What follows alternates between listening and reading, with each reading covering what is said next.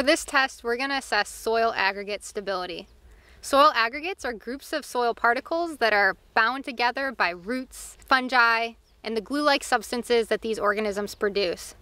They're important for keeping soil organic matter in the ground, for helping with water infiltration, and for providing habitat for organisms.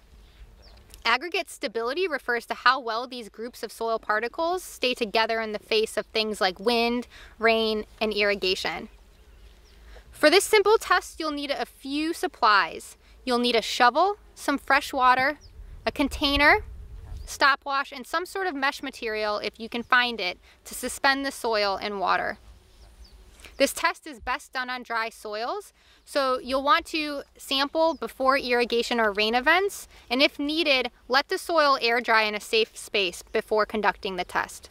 So you'll begin by collecting some topsoil and you'll want to grab a um, sort of a ped that's the size of a golf ball approximately and you will place it within the water and the jar that has the mesh on top.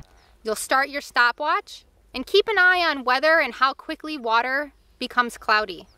After five minutes, look to see if the aggregate or the soil clod stayed intact or whether it decreased significantly in size. We've done that with this soil here.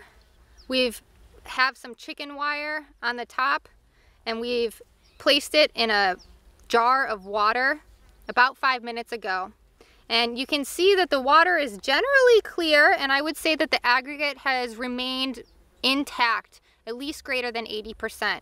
And so I would rate this a ROC rating of good. If the water turns cloudy quickly and most of the aggregate has disintegrated by the end of the five minutes, go ahead and mark a ROC rating of poor. If the water is somewhat cloudy and about 50% of the aggregate remains at the end of the five minutes, go ahead and record a ROC rating of fair. And if water remains clear and hasn't notably decreased in size, go ahead and mark a ROC rating of good.